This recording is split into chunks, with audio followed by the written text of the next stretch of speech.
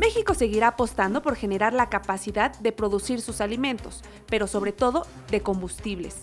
Así lo confirmó el presidente Andrés Manuel López Obrador al revelar parte de la conversación con el expresidente Luis Ignacio Lula da Silva y retomar en conferencia matutina su plan de integración continental. Ayer hablé de eso con Lula, de cómo eh, pensar no solo en el sueño bolivariano de la integración de América Latina, del Caribe, sino de la integración de América. Es un cambio de política. Se ve como algo muy eh, difícil de lograr, porque durante 200 años ha habido una política de falta de respeto hacia los países de América y también de mucha desconfianza hacia em, países fuertes. Entonces tenemos que buscar un acuerdo.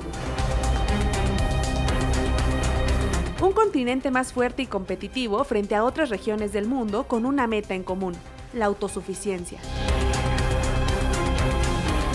Siempre es mejor la autosuficiencia,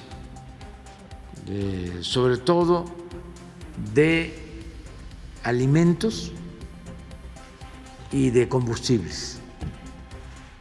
Vamos a la segura si tenemos eh, los alimentos que consumimos. Eso hay que buscar este, siempre como meta.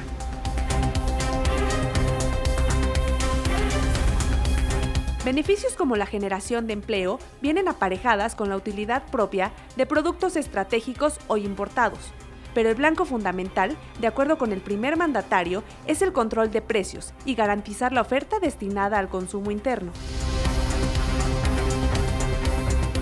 Estamos comprando de Estados Unidos, debemos estar comprando como 300, 400 mil barriles diarios de gasolinas.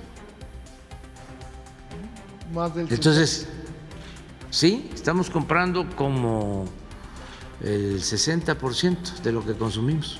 Entonces, eso es lo que queremos eh, resolver de fondo. Bajo el lema de es necesario ver al futuro más allá del momento y el interés inmediato, López Obrador antepone la necesidad práctica de los países que conforman el continente a los históricos desencuentros que los separan. La compleja apuesta frente a prácticas intervencionistas que aún prevalecen no desanima al presidente frente a lo que observa como posibilidad de potencia. Aurora Castillejos, Canal 14.